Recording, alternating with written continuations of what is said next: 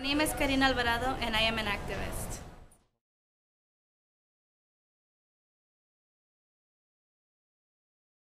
I came to visit UC Davis. I, as soon as I stepped onto campus, I just loved it. The atmosphere, the atmosphere was beautiful.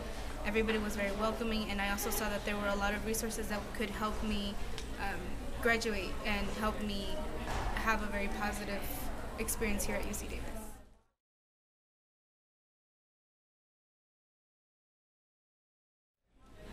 Been extremely lucky with um, the different positions that I've had on the on campus. So I, as I mentioned, I work for Chicano Chicana Studies Department, and there I got to meet a lot of faculty and staff.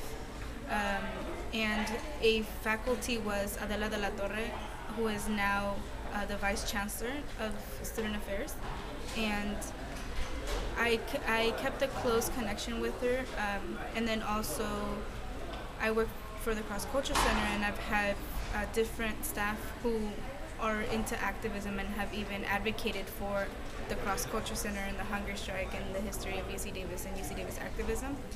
So what it's really it's really easy to do uh, work that you're very passionate about because you have a lot of support. The world needs more activists. UC Davis needs you.